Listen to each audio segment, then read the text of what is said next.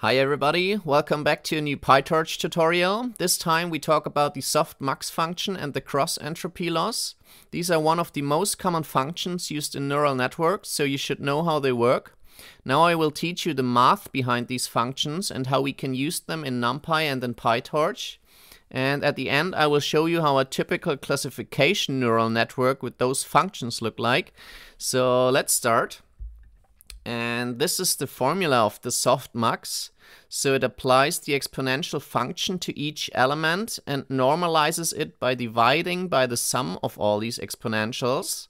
So what it does, it basically squashes the output to be between 0 and 1, so we get probabilities. So let's have a look at an example. Let's say we have a linear layer which has three output values and these values are so-called scores or logits, so they are raw values. And then we apply the softmax and get probabilities. So each value is squashed to be between 0 and 1. And the highest value here gets the highest probability. And yeah, if we sum these three probabilities up, then we get 1.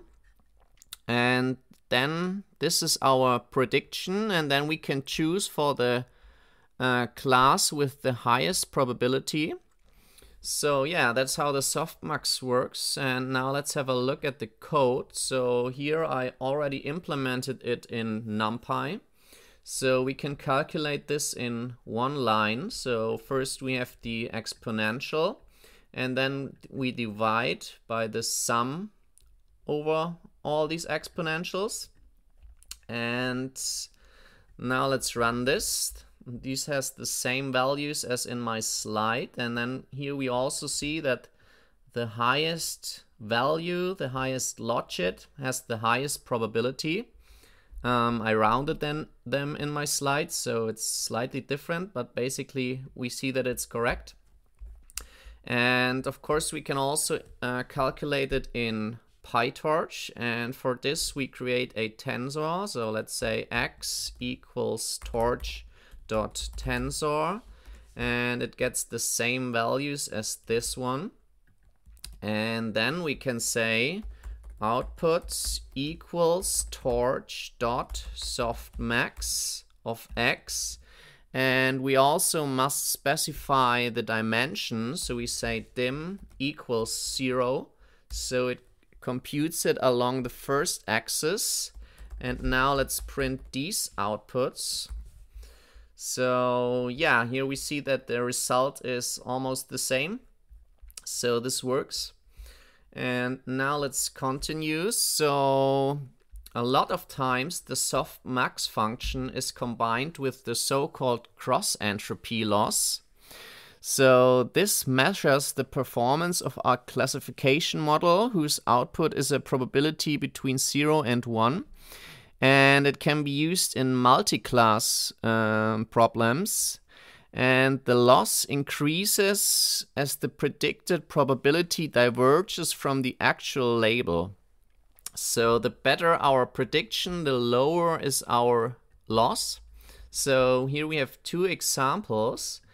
Um, so here, this is a good prediction, and then we have a low cross entropy loss. And here, this is a bad prediction, and then we have a high cross entropy loss.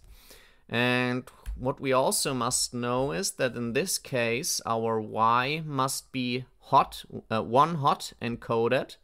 So let's say we have three pro, uh, three possible classes, class 0, 1, and 2. And in this case, the correct label is the class 0. So here we must put a 1, and for all the other classes, we must put a 0. So this is how we do one hot encoding. And then for the predicted y, we must have probabilities. So for example, we applied the softmax here before. And yeah, so now again, let's have a look at the code, how we do this in NumPy.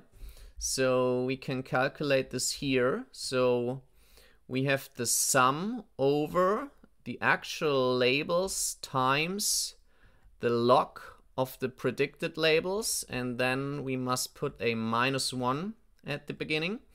And to, we can also uh, normalize it, but we don't do this here. So we could um, divide it by the number of samples.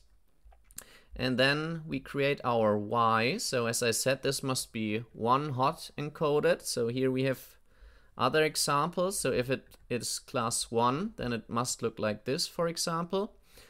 And then down here, we put our two predictions. So these are now probabilities. So the first one has a good prediction because also here the class 0 has the highest probability. And the second prediction is a bad prediction. So here class 0 gets a very low probability and class 2 gets a high probability. And now then I compute the entropy, the cross entropy and predict both of them.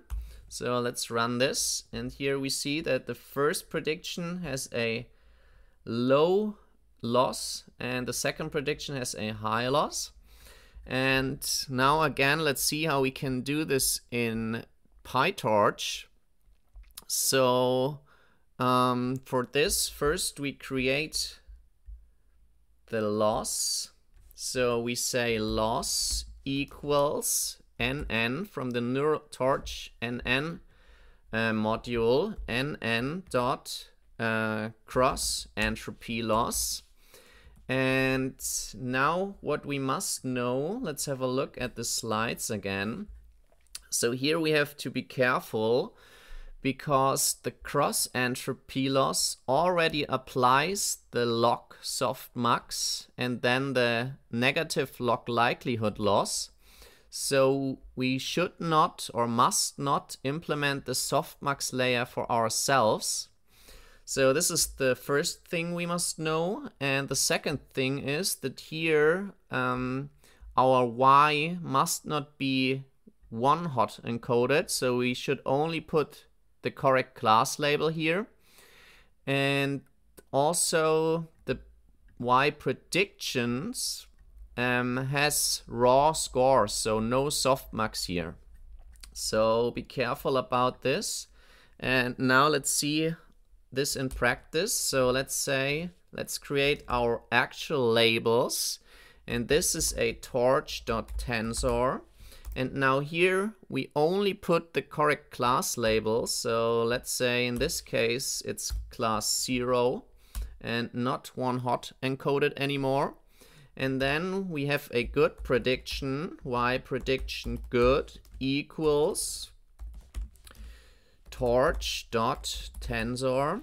And then here we must be careful about the size. So this has the size uh, number of samples times the number of classes. So let's say in our case we have one sample and three possible classes.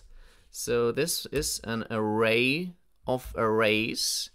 And here we put in 2.0, 1.0 and 0.1. And remember, uh, this, these are the raw values, so we didn't apply the softmax. And here the highest or the the class 0 has the highest value, so this is a good prediction. And now let's make a bad prediction, so prediction bad. So here the very first value is a lower value, let's say, and the second value is high. And let's change this also a little bit. And now we compute our loss like this. So now we call the loss function that we created here. And then we put in the y prediction and the actual y. And the same with our uh, second. Let's compute a second loss with y prediction bad and y. And now let's print them. So let's print L1 dot item. So it only has one value, so we can call the item function and also L2 dot item. So let's run this. And yeah, here we see that our good prediction has a lower cross entropy loss. So this works. And now to get the actual predictions, we can do it like this. So let's say underscore, because we don't need this. And then predictions, predictions equals torch dot max and then here we put in the prediction so y prediction good and then along the first dimension and also the same with the bad one so let's call this prediction 1 and prediction 2 um, and let's print our predictions. So predictions 1 and print predictions 2. So this will, here we see that we choose the highest probability. So in this case, we choose this one. And in, in the second case, we choose this one. So class number one here. So this is how we get the predictions. And what's also very good is that the loss in PyTorch allows for multiple samples. So let's increase our samples here. So let's say we have three samples, so three possible classes. Then our tensor must have three class labels, our actual y. So for example, 2, 0, and 1. And then our predictions must be here of size number of samples times the number of classes. So now this is of size 3 by 3. So let's do this. So here we must put in another list with three values. So um, like this and like this. So let's say this one is a good prediction. So the first class, the first correct label is class number two. So this one must have the highest value and this one must be low. So let's say 0.01. And here the very first one, uh, the first class must have a high value. So like this. And then the value in the middle must have the highest raw value. So for example, like this. And then we do the same for our bad prediction. And let's say here we have this one higher and also change this a little bit. And then we can again compute the cross uh, the cross entropy loss with multiple samples. And now let's run this. And then we also see here again our first prediction is good and has a low loss and the second one is not so good. And yeah, here we get the correct predictions from the first um, prediction tensor. So here we also have 2, 0, 1, like in the actual y. So yeah, this is how we can use the cross entropy loss in PyTorch. And now let's go back to our slides. So now I want to show you how a typical neural network looks like so here is a typical neural net in a multi-class classification problem. So here we want to find out what animal our image shows. So we have an input layer and then some hidden layers and maybe some activation functions in between. And then at the end we have a linear layer with one output for each class. So here we have two outputs and then at the very end, we apply our softmax and get the probabilities. So now, as I said in PyTorch, we must be careful because we use the cross entropy loss here. So we must not use the softmax layer uh, in our neural net. So we must not implement this for ourselves. So let's have a look at how this code looks. So in a multi-class classification, our net, for example, uh, looks like this. So we define our layers. So we have one linear layer, which gets an input size and then a hidden size. Then we have an activation function in between. And then our last layer, it gets the hidden size and then the output size is the number of classes. So for each possible class, we have one output. And then in the forward method, so here we only apply our layers and then no softmax here at the very end. And then we create our model and then we use the cross entropy loss which then applies the softmax. So yeah, be careful here. And um, so this example also works for more classes. So if our image could, for example, also be a bird or a mouse or whatever, then this is also the correct layout. But if we just have a binary classification problem with two possible outputs, then we can change our layer like this. So now we rephrase our question. So we just say, is it a dog? Yes or no?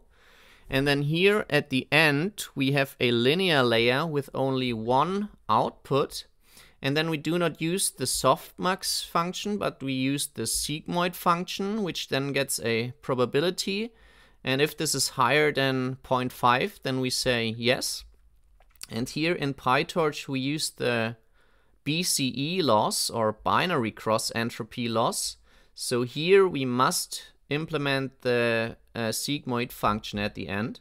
So let's have a look at our neural net in a binary classification case. So again, here first we set up our layers and our activation functions. And the last layer has the output size 1. So this is always fixed in this case. And then in the forward pass, now here, after we applied our layers, we also must implement the sigmoid function. So yeah, and then here as a criterion, we use the binary cross entropy loss. So be very careful here about these two different um, different possible neural nets. And yeah, but that's basically what I wanted to show you. Um, so the last structure is also what I used in the logistic regression tutorial. So you can check that out if you haven't already. And for now, that's all I wanted to show you. I hope you enjoyed it and understood everything. If you have any questions, leave them in the comments below. And if you like this tutorial, then please subscribe to the channel and see you next time. Bye.